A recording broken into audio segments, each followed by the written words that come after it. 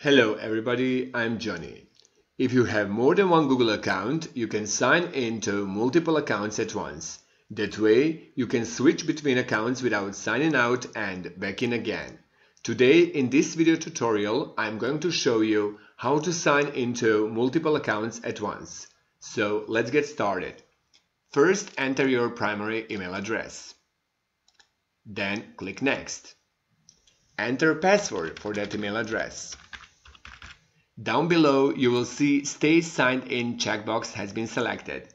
If you are signing in to your Google account from a device that only you use, you can leave this Stay Signed In checkbox selected, so next time you won't be asked to re-enter your password. Click Sign In.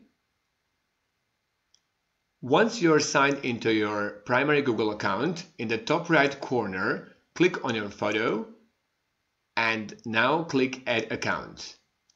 Enter your second email address. Click Next. Enter password for that email address and click Sign In. Now close that tab. Refresh first tab. Go back again in the top right corner, click on your photo and you will see your second Google account has been added. Now you can easy switch between those two accounts. That's all for today. Feel free to leave me a feedback in the comments below and if you want to see more videos related to Google products, please subscribe to my YouTube channel. Till next time, take care and be good to yourself. Peace out.